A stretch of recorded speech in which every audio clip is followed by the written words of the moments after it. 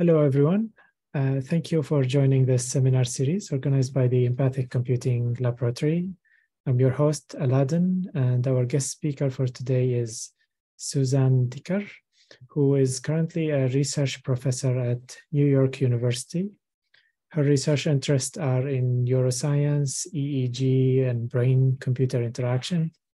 She led many impactful projects and uh, uh, many impactful projects to support the community, community-based initiative and to learn more about human brain research.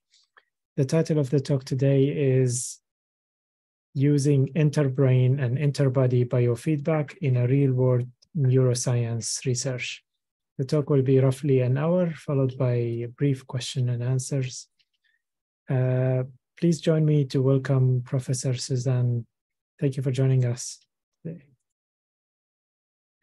Yeah, thank you so much for having me. Um, I am going to indeed share my screen. Um, let me see.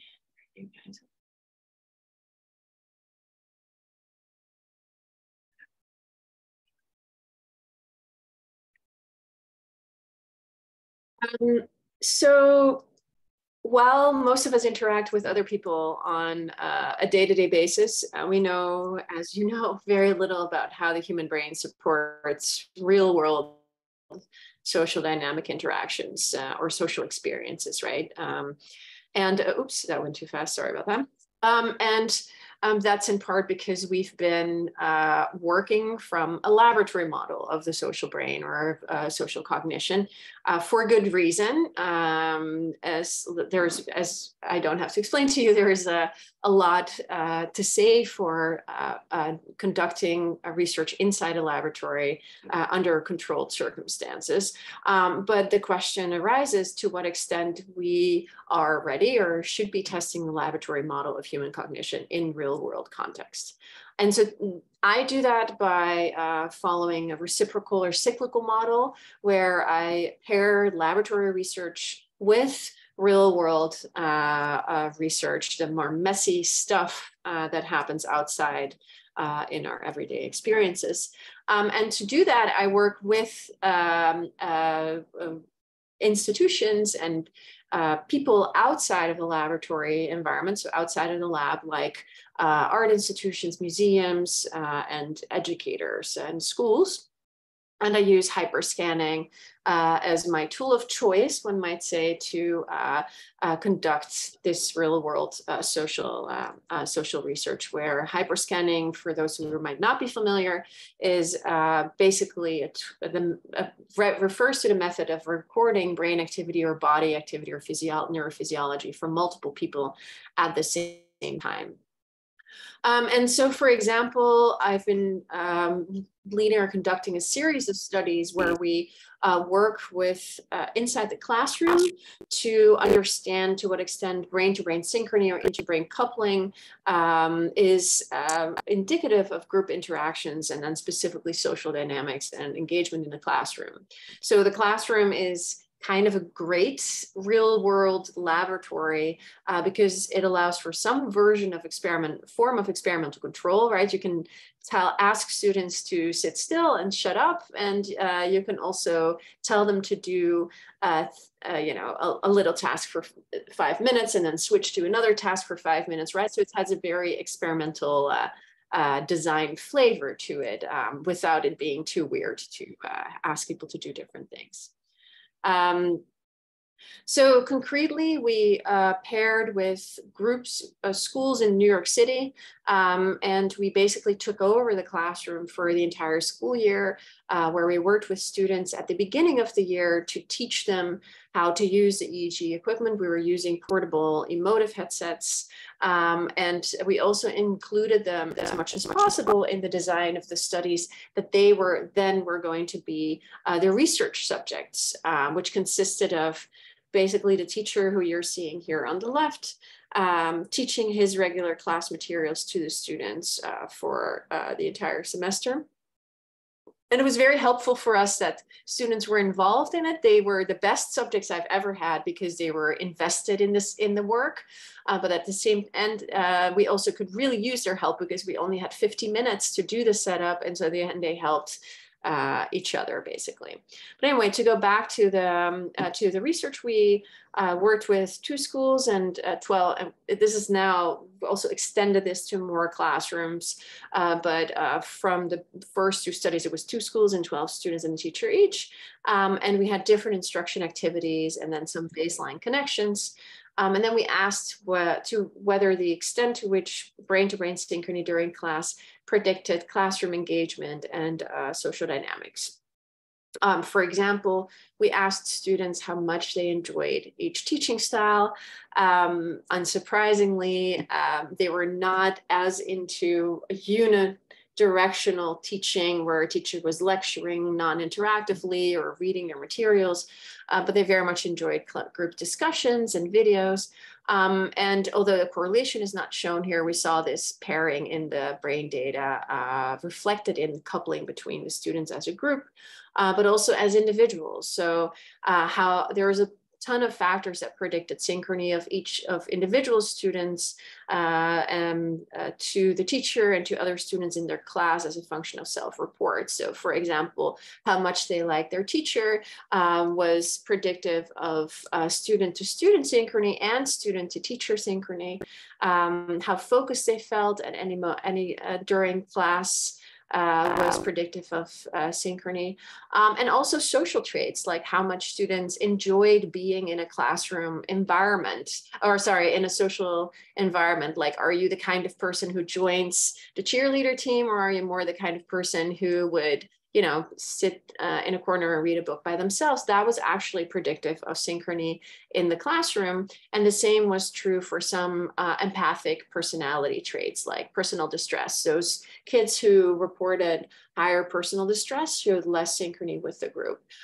Um, and what I find most interesting and compelling, and we're seeing this in individual brain data as well, is that um, this is true even in the absence of any social interaction. Just being in a social context predicts how, uh, like your your brain data predict your empathic, um, your, sorry, your empathic personality predicts your neural indices, uh, both in synchrony and in individual traces.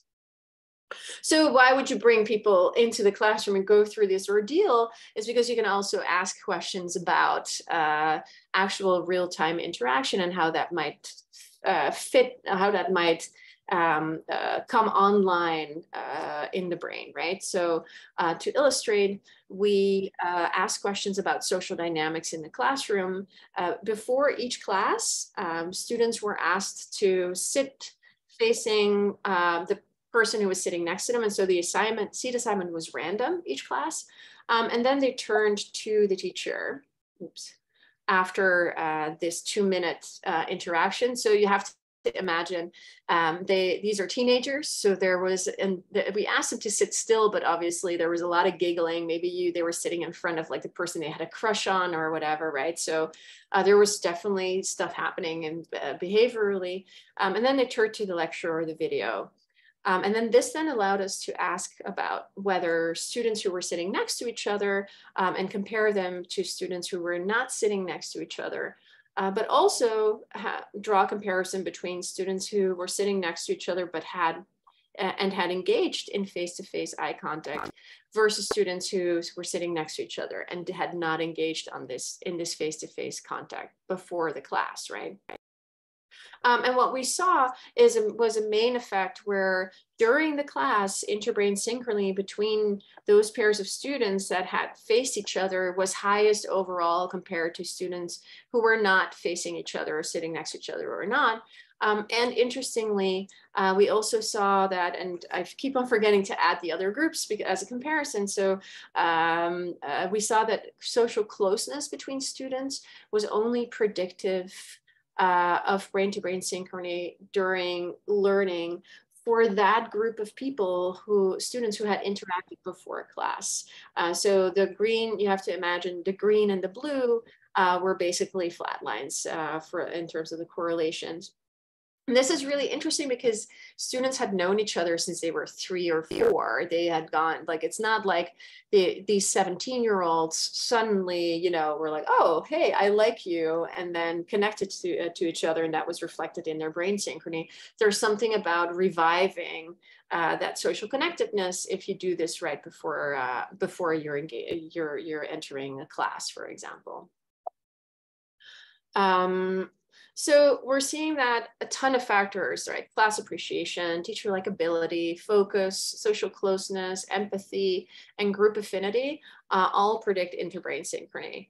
Um, and obviously it would be great, uh, unlikely, but great that there was some form of an overarching, you know, unifying mechanism as to why all these factors uh, predict interbrain synchrony. Um, and I mean, this is a kind of, you know, shared attention is a place to start or shared engagement, but obviously um, those of you who study attention or engagement will know that it's not enough in the sense that um, it doesn't have a lot of explanatory power um, but um, it does help uh, to begin to draw a model about of like how synchrony and engagement in different can and attention can actually uh, sorry how attention in different ways in the different ways we talk about attention can predict synchrony. So for example, there are um, if I come into a social environment uh, I bring my own personality traits and my neural architecture and my mental states and my priors to the table. Um, and then the same is true for Aladdin, right? Like he has his own personality traits, his own brain, um, his own uh, mental states, and his own priors. Um, and then when we interact with each other and, and our brains might synchronize to each other, um, this could happen, for example, as a function of exogenous stimuli like um, uh, the uh, I don't know, a, a speech that we're listening to or music or whatever. And those are interaction independent synchronizers. Um, and then there's social behavior that would predict uh, synchrony and uh, help us establish a common ground um, and social closeness, right? So all these factors in their own ways predict synchrony, synchrony or synchronic coupling uh, uh, between people. And to illustrate, um, for the classroom context, for example, we might have the teacher whose speech is an input with a temporal structure, and then students who are not engaged in kind of the, you know, the nightmare scenario of any teacher or a person giving a speech, they're not synchronized to, they're not paying attention. So their brains are not entraining or locking to the speech of the teacher, and they're also not uh, entraining or synchronizing with each other. Um, in the opposite world, ideal world, everybody's paying extremely close attention. And so they're locking to the speech and therefore also synchronizing with each other. Um, the real world is probably comprised of uh, different way, uh, different attention profiles in different moments in time.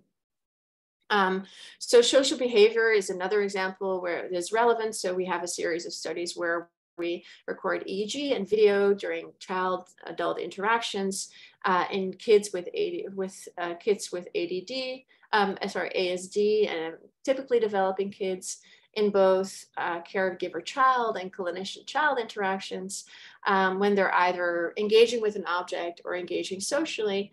Um, and what we're seeing is that all these factors interact with each other basically, right? So um, kids look, look uh, there's more eye contact during social engagement than object engagement, but this difference is stronger for caregivers and then when we look at the brain, we see that the um, synchrony change from object engagement to social engagement is stronger for typically developing versus autistic um, kids. Um, so this is just illustrates what we is intuitive, but often has been ignored in the past is that if you study a social disorder or social context, it makes sense that you do, um, uh, it matters who you talk to, it matters what you do, and it matters who you are, right? So studying it in the absence of such interactions may make you, may, uh, you may miss, miss something. Um, and uh, this also illustrates like uh, neural architecture differences. So for example, baseline differences in alpha frequencies where you might get drift, or maybe the attentional profiles are completely different between two people and that in itself will cause uh, non-synchronized patterns. Um, and we've done studies in all, in a bunch of different, sorry, I'm trying to, uh, uh, different contexts, uh, including uh, classrooms at different times of day and team studies, um, beginning with therapy, um, diff age differences, parent-child interactions in immigrant, uh, immigrant families, um, and a tool that we're using throughout um, uh, to get buy-in or engagement from the public in museums and uh, schools or others or, or community centers is by building uh, real-time hyperscanning feedback tools as kind of a conversation starter for these groups of uh, uh, populations that we're studying. So um, about a decade ago, Matthias Oostrik and I developed um, a tool that allowed us to uh, record data, sorry, for multiple people at the same time, and then visualize the extent to which uh, brain activity becomes synchronized between people uh, into various outputs. So this, for example, is a um, neurofeedback tool where you can try to sync up your brain waves as much as possible. Every time that it meets a threshold, uh, synchrony score goes up and then you can like win a top score, compare yourself to people next uh, before you or after you. Um, and so this has turned out to be a very powerful tool to bring uh, science to the public in education and outreach environments um, we can very readily illustrate that you know this is not a mind reading device right? So you just have to show people raw brain tra- brain traces to help uh, them understand.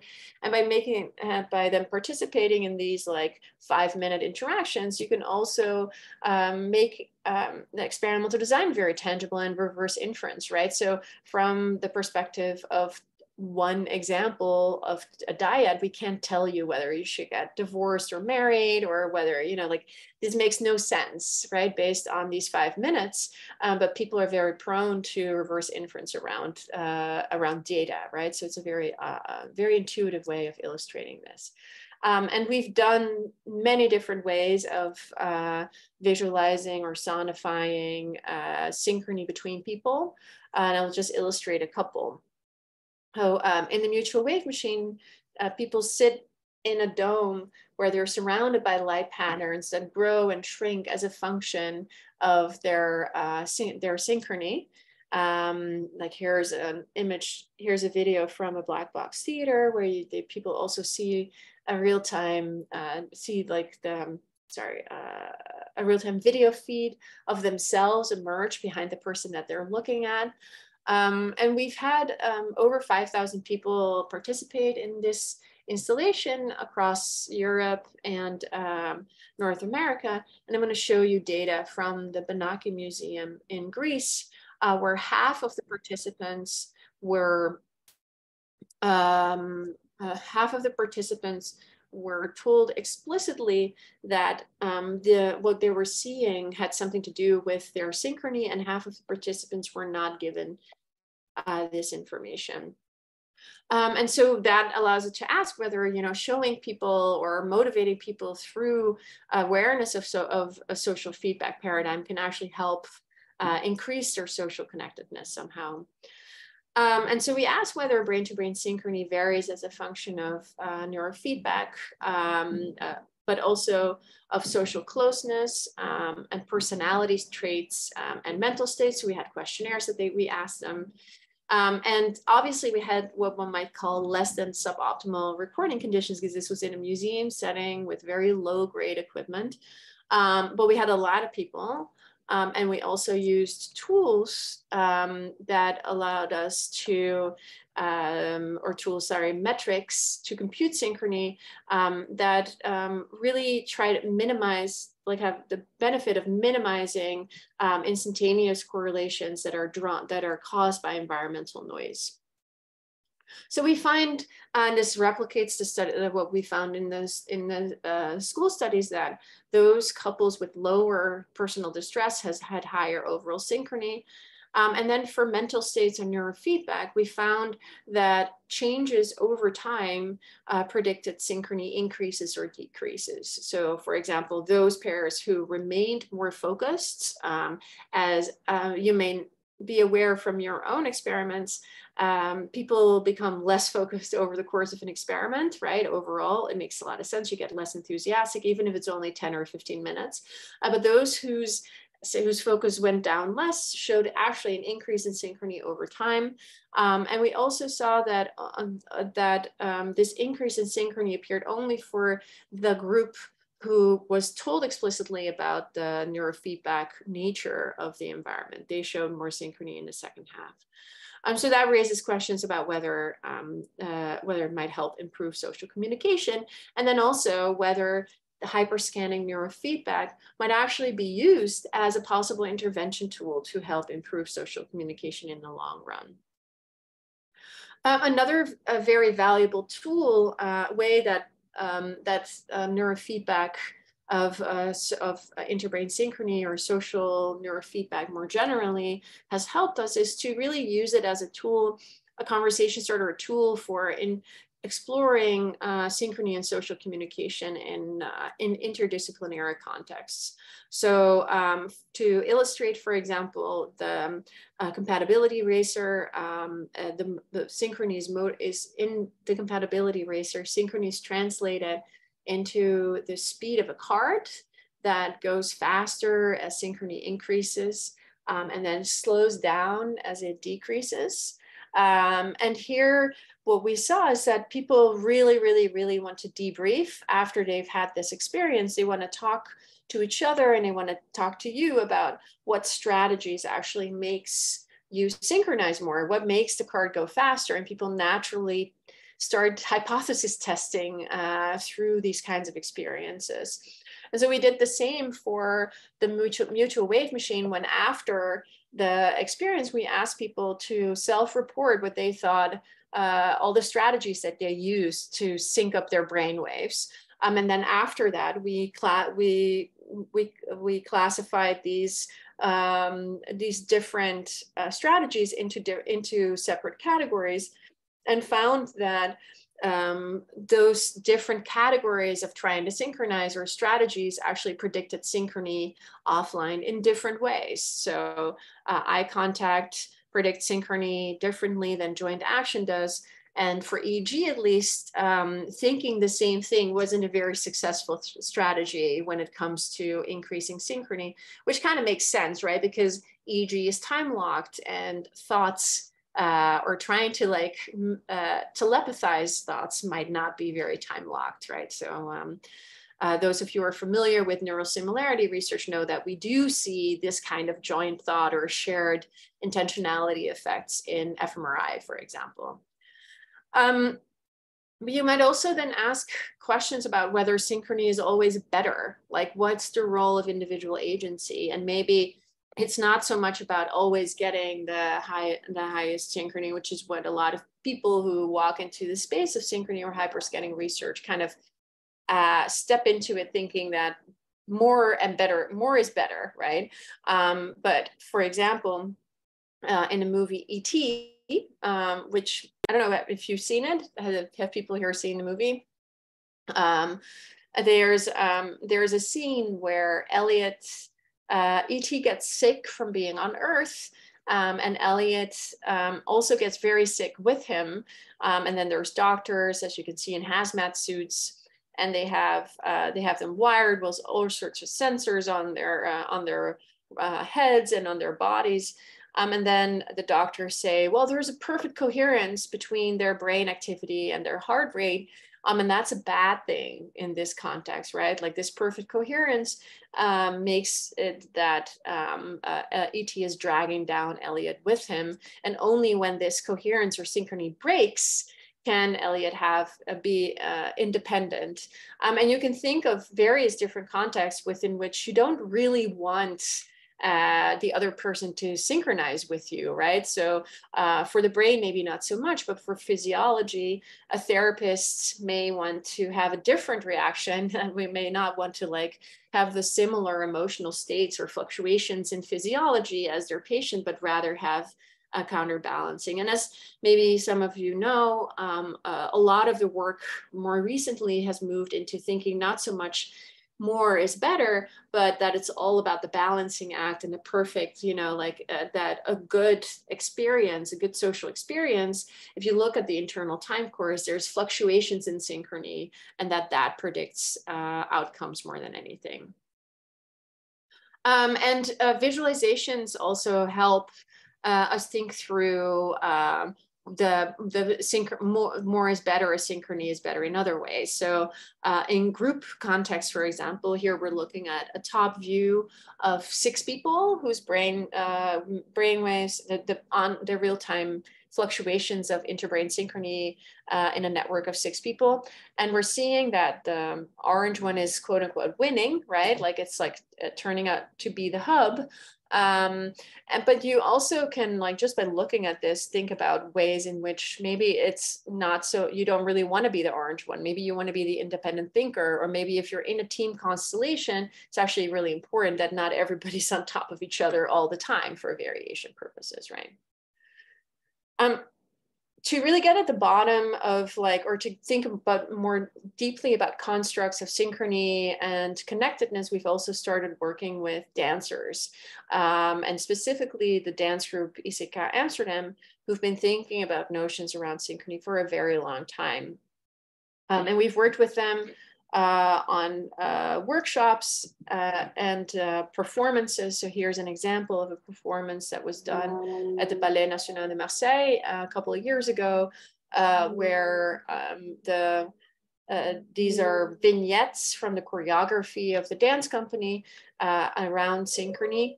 and whenever the, the visuals and the sound patterns are generated by their movements and these sound these visuals are pulled together as you can see and pushed apart like they're kind of like slurped into the center um, and that's dictated by the brain activity of the audience. So there are two audience members that are basically puppeteering the dancers uh, in terms of uh, by pulling them together or pushing them apart as their synchrony fluctuates.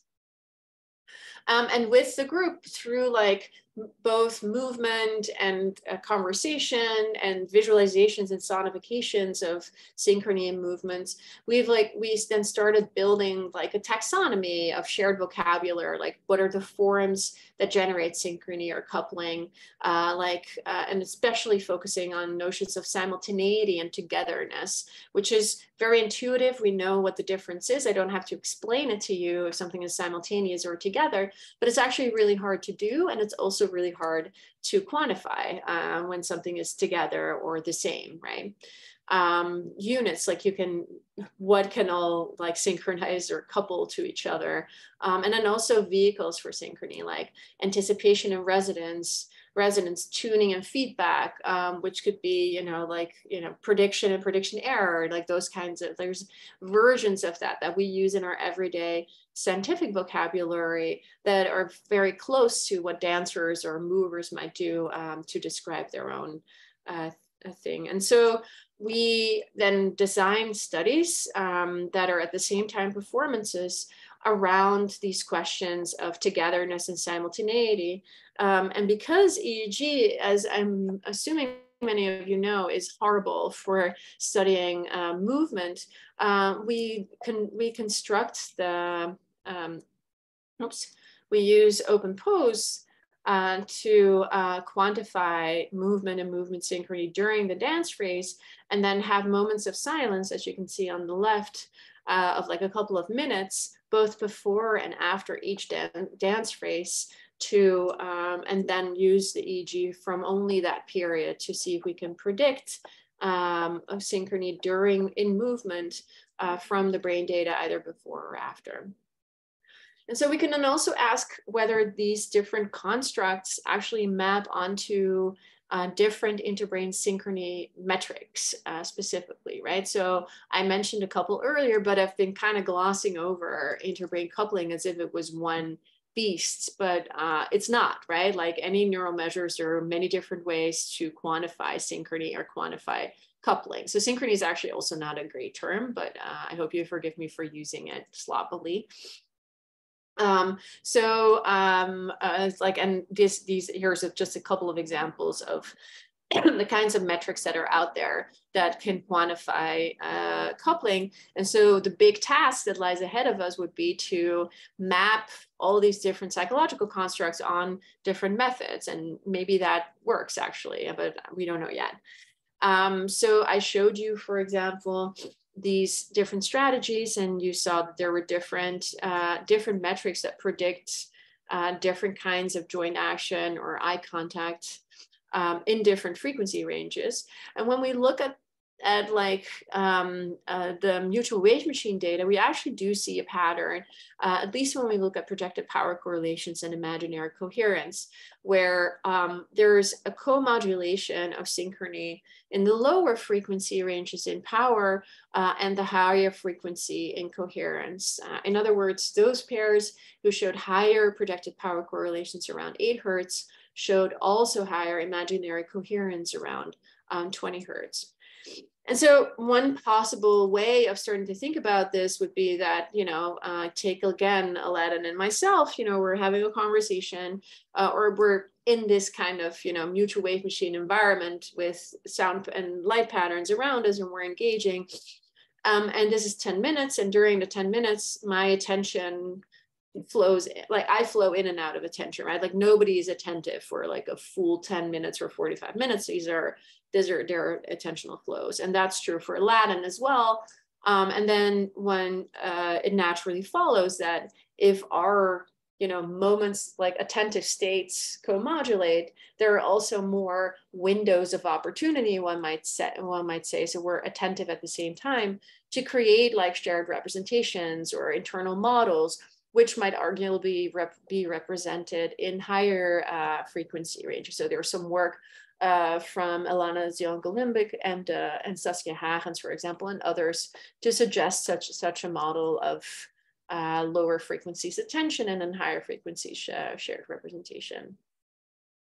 Um, and we also saw that like for the neurofeedback group, for example, that only the neurofeedback group show more synchrony in the second half, uh, but the jury's still out on the specificity of this, right? So because we didn't see any difference when we looked at sham versus true neurofeedback for our metric, but there are many ways and many ways that you can measure synchrony. And so it's uh, not unlikely that the one that we use is motivating, but not necessarily specific enough that you can tag onto and learn from the synchrony over time.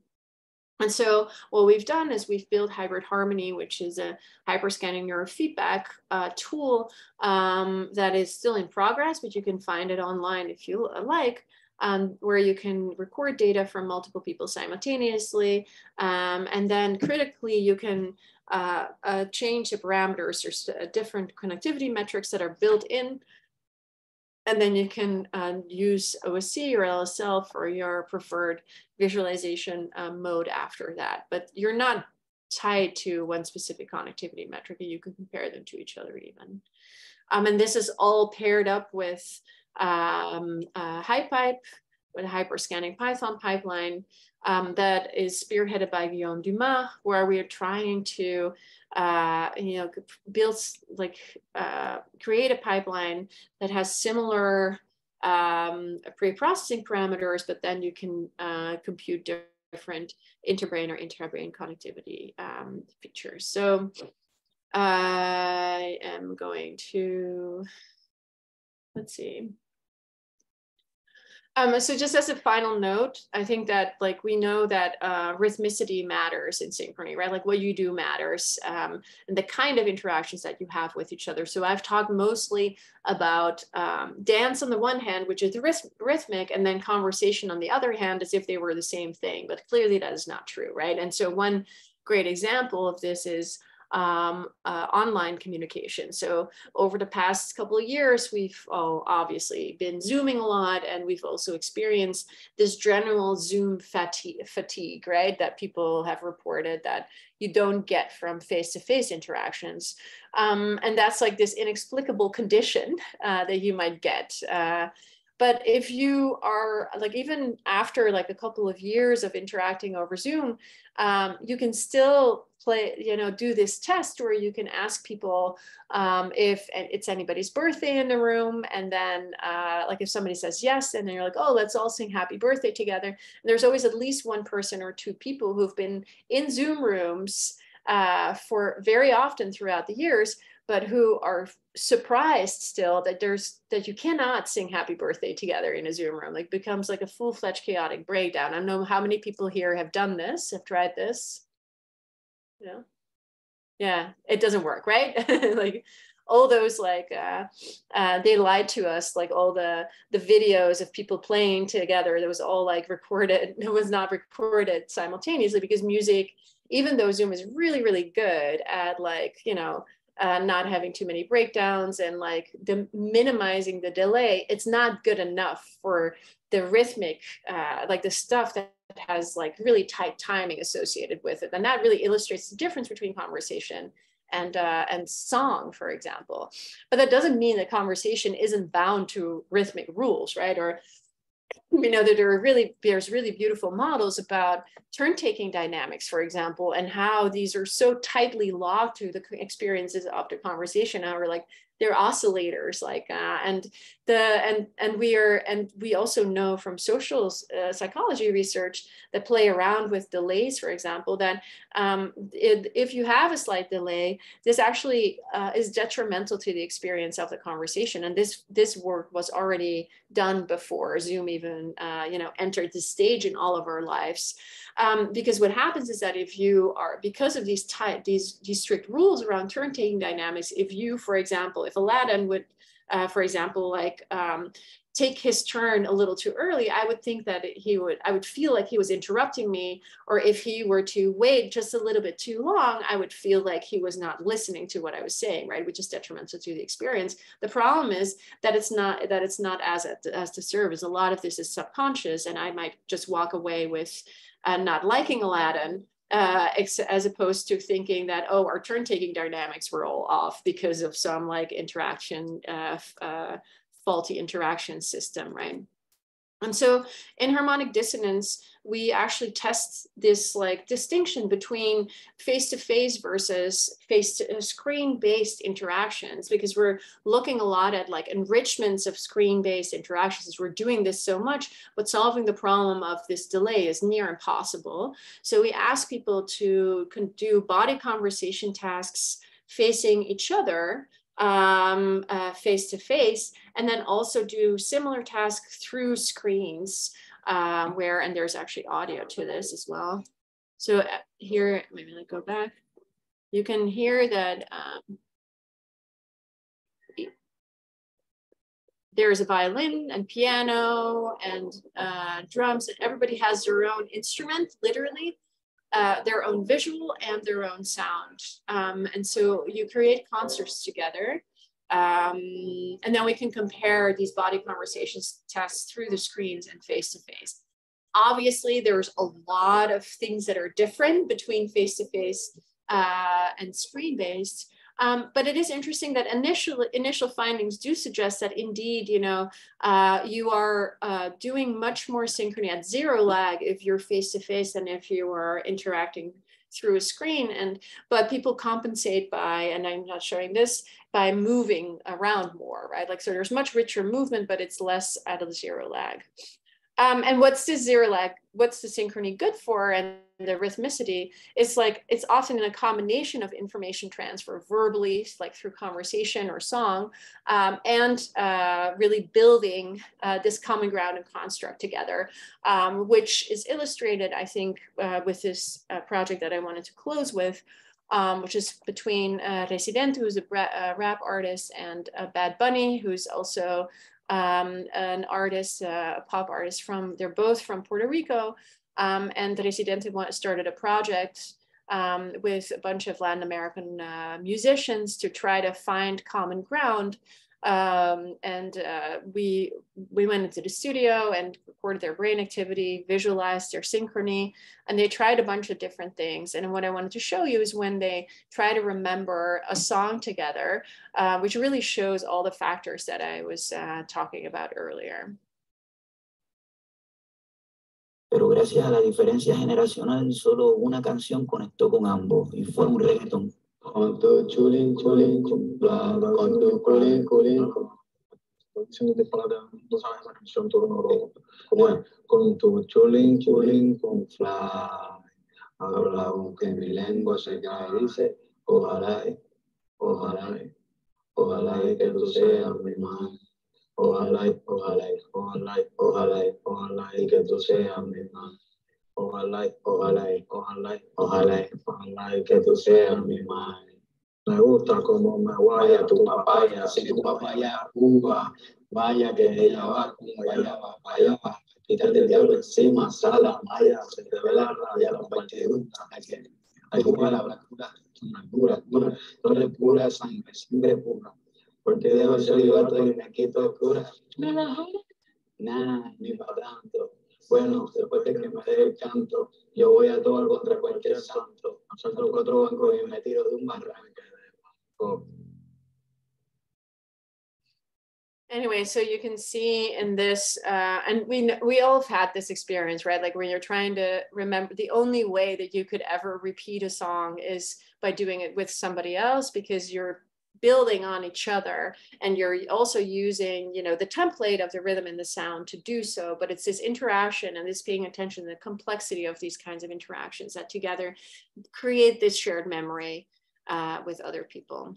Um, and that's it. That's what i wanted to talk about to you today. Thank you so much. Oh amazing. Thank you. Thank you so much. This a lot of uh, interesting projects and uh, definitely a lot of interse intersection with some of the project we do in the lab. Um, if anyone has a question, please uh, either ask or raise your hand or leave it in the chat. I want to ask, I will start us with one question, if you don't mind, Suzanne. I like the visualization of the interbrain synchronicity. Um, I was wondering if there was a test about which visualization people preferred, uh, or, or is that important at all? And whether when they are seeing the visualization, does it help or increase or decrease the synchronicity? Um, yeah, I'll start with this one. Yeah, that's a fantastic question. Um, um, I don't. We we test out a lot of things, like especially with the uh, movement synchrony. Um, a lot of that is individually. We don't, we haven't test like like testing. We know anecdotally that some things work better than others for people to stay engaged with each other and to be informed. Um, but we haven't done systematic tests uh, between um, different sub, uh, you know groups of participants around preference. I was actually coincidentally twice today uh, feedback uh, things came the same feedback question came up in a different context namely sound uh, feedback on meditation like you like individual device you have like an individual like a device like a muse or whatever and it gives you sound uh, when you're getting into a meditative state or a dream state or whatever and um, two people independently were t- talking about this er- this earlier when, uh, and saying that like the, uh, the intuition is that if you get into more of a brain like a, a, dream state is that your sound would reflect that right? Like you get these like i don't know maybe it's birds or maybe it's like something that is a richer environment but the effect of that is actually that by enriching the sound you're pulled out of that whatever state it is in. It's like somebody's waking you up.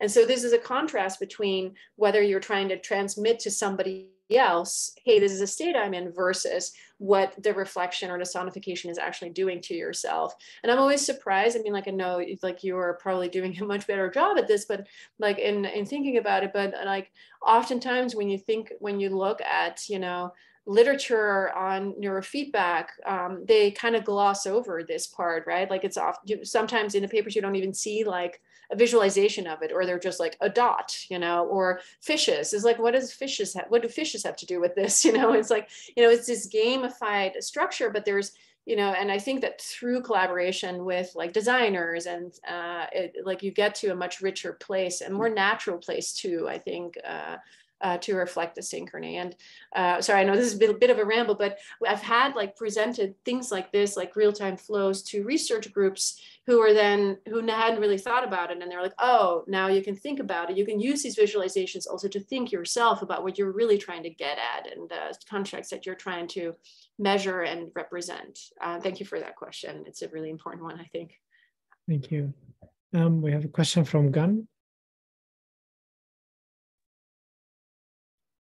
Um, thank you very much, Susan, for the great talk. Um, first of all, um, I had a question regarding um, the visualization you had with some dots, um, visualizing how synchrony are there within the group. Um, I think mm -hmm. you used the term hub person who was um, standing out as an orange dot. Um, I, I, was um, wondering how can only one person be um, standing out from the group, given that um, if you if you say that person is more synchronized with others, then um, that that that sounds like um, there is a lot of common things going on within the group. So so uh, maybe having two people having more synchronized rather than I was expecting more like two thoughts or two persons being more synchronized uh, rather than just one single person standing out from the group. Um, can you elaborate a little bit more on how how that um, works and what does the visualization actually mean? Okay, so our um, so you're talking about this, right? Hold on.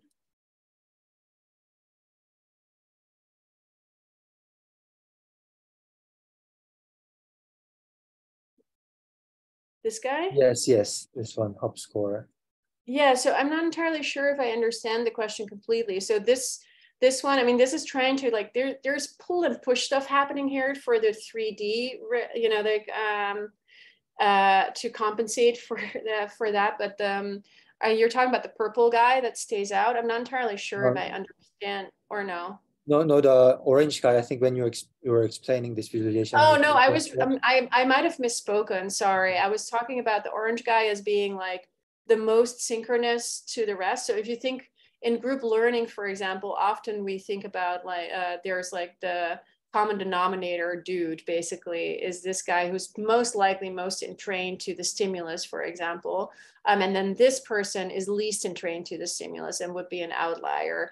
Um, and so the question then is uh, in general you think about this as a you might think about this as like a bad thing but if you see it visualized then you might also start thinking about it more as a uh, as like the necessity of variation within a group of people right? So you need um, a, like a conversation or a solution uh, this is very abstract might become richer if you have more variation and it doesn't necessarily have to be the case that everybody's completely locked in and the same uh, um, within a group. But i'm i feel like i'm still not fully understanding your question though. I'm sorry about yeah, that. I was i was um i was just wondering if um would be more likely to have um, a pair of persons standing out rather than just a single person. But um since you were just mentioning probably um, would it be fair enough if I think of that orange person probably is like a teacher in a teaching setting, so so he's more um, in in in coherence with sure, or within a group of yeah, or that that could be, or within a group of students. Um, the uh, like we use synchrony as a proxy for entrainment measures, right? So then this could be the person who's most entrained to an invisible uh, stimulus that is the teacher. Hmm. um, yeah. Yeah, that's great. Thank you. That's great. Thank you. Uh, yeah. Um, we have another question from Isha? Hi, can you hear me? Yes. Oh, okay. Uh, thank you, Susan, for uh, sharing this uh, very useful information. And thank you for making the very useful HyPyP model with Guillaume um, because it's very useful. Um, I hope to leverage leverage that as well. Um, I would like to ask about, um, have you ever tried uh, looking at this interbrain synchrony when people are separated geographically?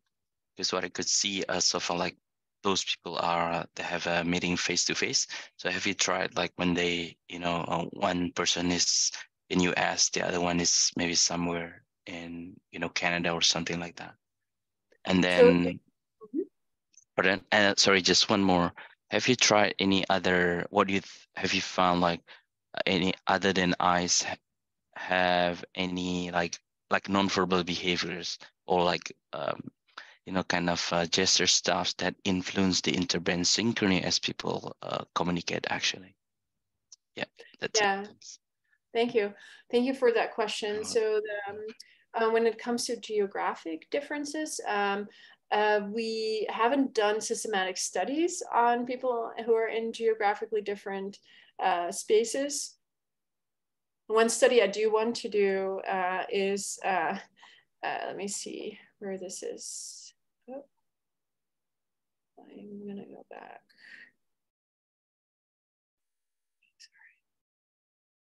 Sorry. Uh, sorry about this. there is a study that we did do with Guillaume just as a fun demo, uh, when we were all in different places, we we, we did an, uh, a virtual interbrain synchrony connecting via VPN, uh, our headsets via VPN, and then visualizing synchrony. So that can, you know, but that's I don't think that's your question. That was just like a fun little little gimmicky thing. Uh, one thing I really do want to do is bring uh, this study to um, uh, to a more systematic situation where we um, look at, and now I need to find it. Sorry, here you are. This, in, I don't know if you remember from, I know that I showed you a lot, like there was yeah. this one data set where people uh, have, were more synchronous after intera interacting with each other. Um, and I'm really curious what the explanation is for that, right? Like one, one possible explanation is that there's more uh, uh, directed attention to the people mm. because they're still sitting in the same room afterward, right? So they're sitting next to two people, but they might be more, their attention might be more directed to people they just interacted with. So what you would want to do is then bring them to different rooms and see if this resonant synchrony actually persists. Is it more like acute attention or is it more like, I don't know, they like when you sing a song together and you leave the room and the song is still lingering in your head kind of thing. Is it a resonance state? So that I, that's not, doesn't exactly answer your question, but I think it gets at uh, questions of uh, geographic distance. And it also gets at questions of like baseline synchrony that you might have. Um, and there's beautiful work with caregivers, right? Like where they put caregivers and children in a scanner, show that their baseline synchrony uh, when they're not in the same room actually predicts both synchrony and social uh, interaction during, uh, during their day-to-day -day, uh, interactions. Um, and as to your second question, we haven't brought in gesture like as a, um, a predictor, separate predictor, but like our body conversation task is definitely a movement movement synchrony, and bringing the two back together is like a, would be a next step. I see. Sorry, just one more questions. Um, mm -hmm. is, is, there a way later, like I want to try the, um, like uh, you know, to try something like in the real time because when you show like um, at the very beginning, so uh, when people wear the headsets and then the software will be able like to do pre-process and also like predict. So is there a way like where um, maybe I can try this, download your software or like GUI stuff? So I would like to try that yeah. one just in case it's open source. Yeah, the hybrid harmony, you can try it. Um, it's a, a, at your own risk, I would say, in the sense that like it's you know, it's a, it's not in a perfect state, but any feedback would be absolutely appreciated. It's not doing online um, uh, pre-processing um, uh, currently, but there are devices that are doing this. If you use Smarting or something like they're like doing ASR, and you can then stream it after after that. So, yeah, uh, rhythm of related hybrid, relating hybrid harmony. There's a Frontiers article about it too. I'm happy to point you to it if you can't find it. Thanks, Susan. Mm -hmm. Thank you, Ishan. Uh, Ishan has did a lot of research in the interbrain synchrony in virtual reality, so I think yeah, it would be useful. Very great work. Hopefully we can collaborate. Mm -hmm. Thank you. Next question from Mark, please. Thanks, um, Suzanne. I, I, you've done so much work. I, I just want to um, ask, um, from your experience, what type of visual feedback produces the best um, synchrony results? Or, or I guess um, causes the best synchrony. So you, you showed the example of the dome, for example, with people sitting together and having um, kind of a particle visualization behind them, and then the the two, you know, the overlapping um, the brain visualization that you had. So what what type of visualization do you think would provide produce the best synchrony for people? Yeah, I think this is maybe another version of uh, what Aladdin was asking earlier. Um, uh, but uh, so um, in the sense that we like don't, uh, we haven't systematically done this test. What we do find, for example, is that there are sweet spots of. Uh, it depends on the on your audience as well, right? So we have different visualizations. Uh, like with younger audiences, that two heads work really well and they're really powerful um, there's like some starkness around the uh, and and so does like the um, uh, the the the mutual wave machine works well, but it's a little darker and, uh, and more solemn. And so you do see, and but again, like haven't tested this dynamic uh, systematically, people behave differently, uh, but we're putting them consciously in a different state. Like, are you in an art experience, or are you in a fun experience, or are you in like a are you in an outreach experience right? And so that has a very strong effect. It also has an effect on what the ideal length is of the uh, of the engagement. So for a neurofeedback game like it's like two or three minutes is better. And then depending on the contexts and mutual wave machine like some anywhere between seven and a half and 10 minutes right? So there's we're really seeing differences in like how much people sustain it but we haven't tested different you know like really tested different visualizations. For the mutual wave machine, we are actually expecting that it would, because it's such a like in your face experiment, we thought that the entrainment would just like push everybody to the max instantly, but that didn't happen. We didn't, we still saw a lot of variation actually. Mm, that's really interesting. And I'm wondering also um, with audio effects as, as well. So for example, if you, if you played the heartbeat of each person, would that yeah. entrain their heart rates, which would then also cause more brain synchrony as well. For sure. So we haven't done heart rate uh, sonification. One thing that I that we are finding is that people are having a much harder time um, tagging onto, tapping into sound. I mean, it's, I know like consciously that is right so it's very hard to explain to people and for people to understand uh, what their sound like a soundscape uh, difference as if they're not professional musicians, for example. But a visual a visual landscape is much easier to uh, for them to like remember and to tag onto. So that is a uh, but for sure, like all our sounds, like it's hard to talk well, uh, but all these installations have like very carefully designed sound uh, um, uh, scapes that are also reflecting synchrony in individual brain frequencies. Uh, so you can build in a lot of richness, but um, it's it's harder to make people aware of it for sure. In my experience, maybe mm. that's not your experience, but that's my. Oh experience. no, I'm just curious. It's great. Thank you. Yeah, for sure. Thank you, Mark. Uh, next question from Saul. Uh, thank you for joining us. Oh, okay. It's um, my name's actually Chris. Can you hear me all right? Oh, sorry. Mm-hmm. Thank you. No, that's all right. I don't know whether I'm using a different computer.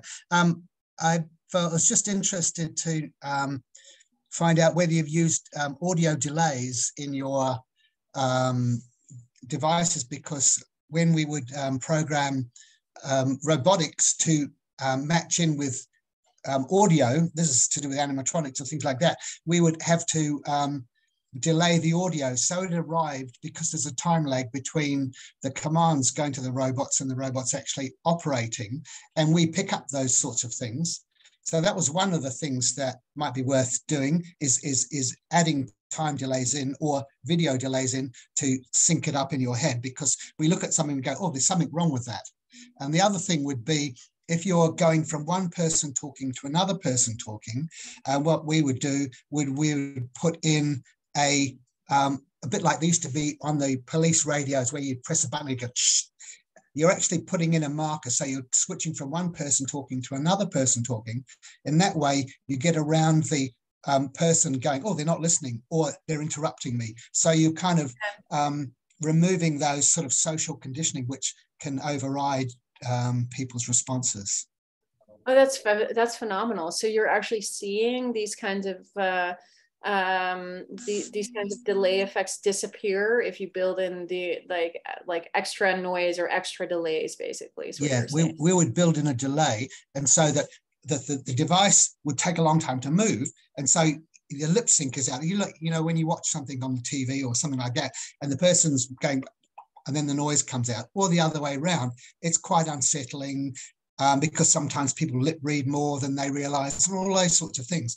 But eliminating that by shifting the time so it's actually synced with the video, that worked with that. Yeah. And the other thing to stop people over talking each other was to have a sort of like a, I suppose you call it like a ceremonial, I finished talking, now it's your turn sort of thing. And that would be so like a little sound or a thing that says, you know, I've stopped talking. And it doesn't, it's not necessary so much nowadays because our you know our communications are so much better. But when i was younger we would have issues with that sort of thing and you'd have to say it's your turn to talk sort of thing. Yeah. That would be done. Anyway and that's such that's a long sentence to be saying every single time so you might as well use a cue for that. Yeah, yeah. that's great. Thank you. Okay. that's really no, interesting. I'll look into that. Thank you chris. Any other question from the interest from the audience I have just one last question, Alvin. Sorry. Great talk. Thank you, Susan. Uh, I re it's really inspiration. Um, so one thing that I was wondering about, I want to know based on your experience, all the things that you have done and experiments that you've done, I want to know about how you define empathy as our lab's name is Empathic Computing Lab. I want to know how you define empathy in in terms of synchrony, brain synchrony. And I got this question because I saw that ET movie that you said, and you said more synchrony doesn't mean necessarily good. So how you define empathy with synchrony? Thank you. Yeah. So, I mean, I, we use, uh, there's a ton, as you know, there's a ton of different ways uh, to measure empathy or pro-sociology, uh, sociology, ugh, I can't even speak anymore. But um, um, we are seeing that uh, there's like, I'm finding, for example, that the interpersonal reactivity index and specifically personal distress is consistently a strong predictor of synchrony in our studies, but I know of other studies where it's empathic concern of the scale or the fantasy scale that predicts it and not interpersonal reactivity or maybe some other measure altogether. So that's a I, you know, a little bit of a mess, I would say, or at least um, a, a, confusing uh, pattern of results across different labs, getting different results with respect to what kind of empathy or pro-social behavior or metric might predict synchrony. Um, and then in terms of, uh, and I think your point around like the pat the um, uh, more is not always better is really well taken. Um, also in and and if you think about this in terms of this balancing, uh, so we see that more empathy like in the like for some of these metrics is more uh, does correspond to more synchrony um, but um, we're also you know it, it is an open question of whether you might then uh, get better fluctuations another question would be uh, we got you know pair like for us for example it's the average between two people that predict synchrony but you could have an average of two people that are both kind of average e empath- empathetic or one person is really empathetic and the other person is not so empathetic that gives the same average but we still we see that that's actually ends up being the best you know, model for uh, for synchrony, which is a little odd, right? Like you might not predict something along those lines. Um, so I think my short answer is that I don't really know, and I think it's like a, an area of uh, that merits much more and much more systematic investigation. Because, and I think that by calling it all empathy, we're kind of glossing over the core problem like we're we're making we're not making it easier for ourselves and each other because you really have to go to the method section often to see what kind of metric they've been they used um, in their study so thank you for that question Thank you. Was that other question as well? Um, in, in our lab, we're trying to use VR and not yet, but hopefully soon augmented reality to um, look at um, interbrain synchrony as well. And I'm just wondering um, what your impressions of that are and, and, if you're aware of other people's work in that space and what's your thoughts about using you know, VR to be able to explore the space. I'm sorry, I didn't. Can you repeat the last sentence of your question? I Oh, sorry, you. I just, um, yeah, my network connections are up and down. I was just saying that we, we, in our lab, we're using VR, um, to explore, um, interbrain synchrony and, and in the near future, um, we'll be using, doing AR as well. And I was just curious about your thoughts about that in terms of what's- the value of using uh, VR for these types of experiments, and if you're familiar with others working in this space using VR. Yeah, I mean, it's, um, I I have not worked with VR, so I find it very hard to have like a good sense of uh, of of like uh, if I can like of the answer to your question uh, per se. I mean, like obviously VR is like uh, one thing that I've seen people uh, in terms of VR or other kinds of simulated environments um, is that you can create real worlds with like some experimental control there, right? Like, and that's really a benefit. Like, it has a you have a real world immersive experience. So if you think about, you know, you can bring the real world to the lab, or you can bring the lab to the uh, to the real world. And it seems like what you can do is then do controlled experiments in the laboratory environment. But you know, like that's you know, like you probably have way better ways of even formulating um, that thought. So um, I'm not so for my line of work, since it uh, I'm, I'm also finding it extremely important to work with humans in real world environments and like bring them into the scientific process and bring them into the question generation, etc. VR is not something that I would do, but I could see for if I had specific questions around configurations of classroom, like how many student other students are there in your classroom that might distract you, and you can actually manipulate that in a VR experiment experience or directionality of sound or things. I could really see a very rich world of manipulating things in a way that feel like a real like real world environments i don't know if that that was the answer that you were looking for at all but um, I know that's fine. I'm just, I know, I wasn't sure if you're also aware of other groups doing, using hyperscanning and VR.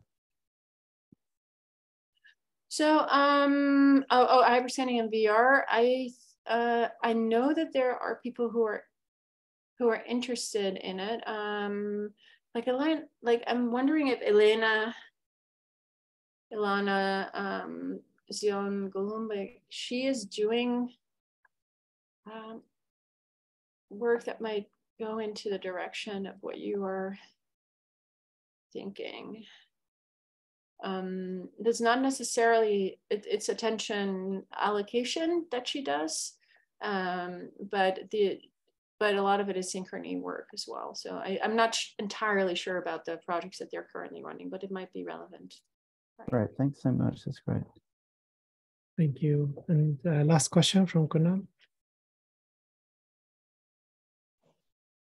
Hi, uh, hi, hi, Susan. Thanks for the insightful uh, talk.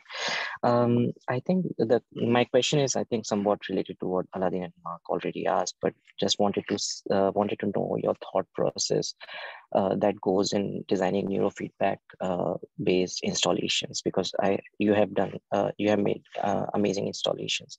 So if you can um, give some insights on like what was the thought process that went, uh, went in the specific installation or something?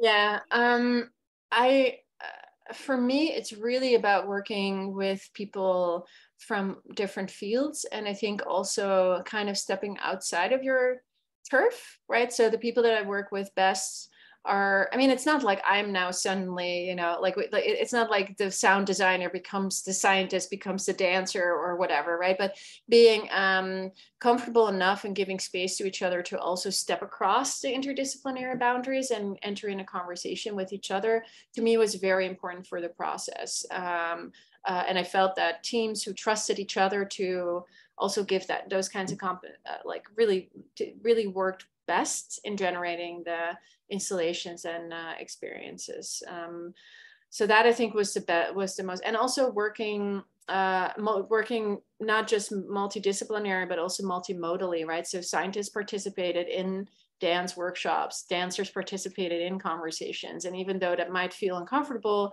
initially, I think it's like very critical to like cross the boundaries. Um, uh, but still stay serious, right? It's not, yeah, as I said, like not, it shouldn't be that sign. Now the scientist is the painter or the other way around. Like you just bring your level, your expertise to the table. Um, that's, I think, uh, um, and having fun while doing it. Like that's the, that that's ultimately obviously the most uh, most important because I think you can I think we can feel the difference between different projects if we felt inspired ourselves by uh, creating it. Okay, Thank, thanks, Suzanne. Mm-hmm.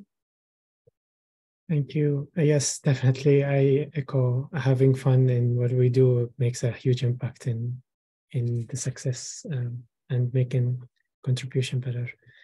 Thank you. Thank you so much, Suzanne, for all the for the great work, for uh, sharing your thoughts and ideas with us. Uh, we learned a lot, and thank you everyone who joined and asked questions. I hope you enjoyed uh, this seminar as much as I did, and hopefully yeah. you get to visit us in New Zealand, or we get to meet somewhere. That would be phenomenal. I hear it's uh, it's the most beautiful place in the world. So I hope to see it sometime. it is. Uh, yes. Thank you so much for the invitation. I really appreciate it, and for your amazing questions. They really are were thought provoking, and I'll bring uh, bring them back with me. Uh, uh, yeah, but now I'm going to bed. Thank you for taking the time. Thanks, Thanks so much. We'll see you later. Right. Thank you. Bye. Um, bye.